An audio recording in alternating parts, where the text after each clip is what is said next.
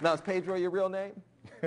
it's uh, it's funny that you asked me that because I, I do get that question a lot. Um, because it, it often blows people's mind. People meet me and they can't they can't really fathom how a black man could possibly have a Spanish name and not play baseball.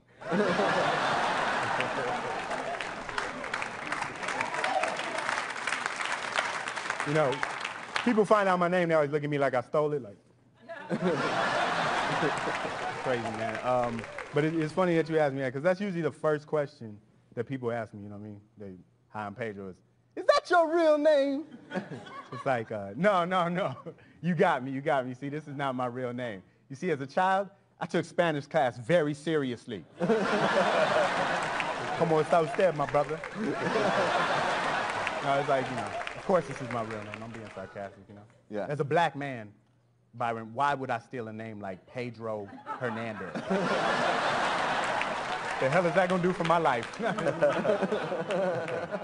I was gonna steal a name, it would end in something useful like Steenberg or White.